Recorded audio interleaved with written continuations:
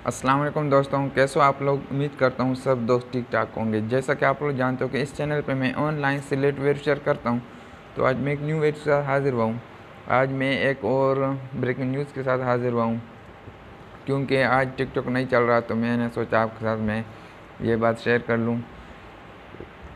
आज से टिकटॉक मुकम्मल तौर पर बंद होने जा रहे हैं। आगे पता नहीं है, लेकिन आज बंद होने जा रहा है। अभी आप लोग देख सकते हैं, मैं टिकटॉक के ऐप्स पर क्लिक करता हूँ। तो ये देखो नेट भी आना है।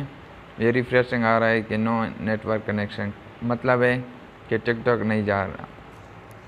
अगर मैं कोई यूट्यूब है कोई और चीज़ चलाना चाहूँ तो वो चल सकेगा। मिसाल के तौर पर ये देखो, आप लोग देख सकते हैं, लेकिन टिकटॉक नहीं चल रहा।